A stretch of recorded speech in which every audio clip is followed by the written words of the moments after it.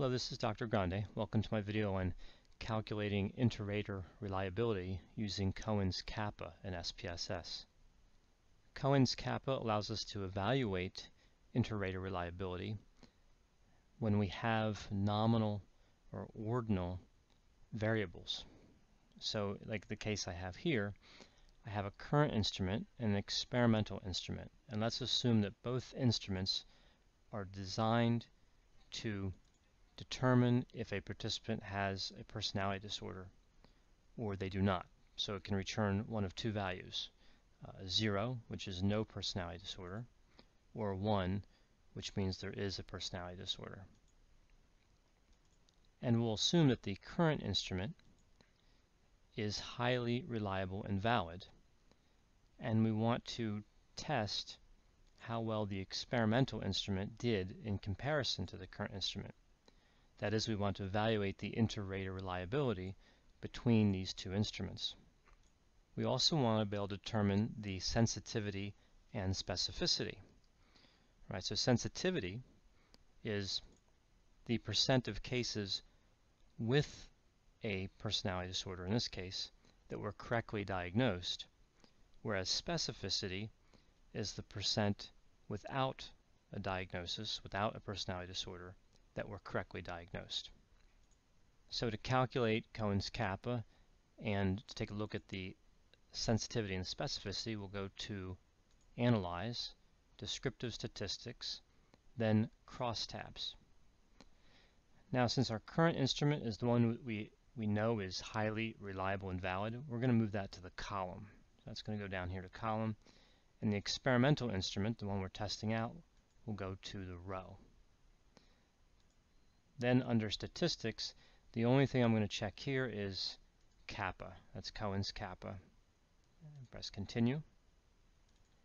Then under cells, the observed counts are already displayed. I'm just going to add the percentages for the row and column. And then click continue. And format and style I'm going to leave by default. And uh, display clustered bar charts and suppress tables I'm going to leave unchecked by default. So from crosstabs, I'm going to click OK to run the analysis. So you can see that I have 40 cases, right? n is 40, and 100% are valid, so no problems there. Moving down to the cross tabulation, this is where we would determine sensitivity and specificity. But before I go to analyze this table, let me move to the last table and evaluate Cohen's kappa. So we, we can see there is statistical significance here, and the value of kappa is 0.552. So in considering inter-rater reliability, if the value of kappa exceeds 0.5, that's considered moderate inter-rater reliability. Above 0.7 would be good, and above 0.8 would be excellent. So at 0.552, we would say the interreliability rating between the current instrument and the experimental instrument is moderate.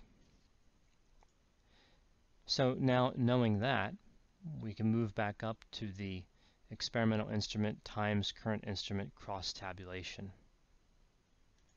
So first let's identify the correct statistic for sensitivity, the correct percent. So the way we do that is we, when we're looking at this table, we can see the current instrument is in the column where we put it, and the experiment, experimental instrument is in the row. So if we look down here at the total, we can see with the current instrument that 21 of the 40 cases were correctly identified as having a personality disorder. Remember, we're going to assume that the current instrument is highly reliable and valid. So then we move up here for sensitivity and look for personality disorder and then personality disorder in the row. So personality disorder in the column, the current instrument, and in the row. And look for that intersection within, so it's percent within the current instrument. And you can see it's 71.4. 71.4%. that value represents our sensitivity. So that's the percent of cases that did have a personality disorder and were correctly diagnosed. So the sensitivity of the experimental instrument is 71.4%.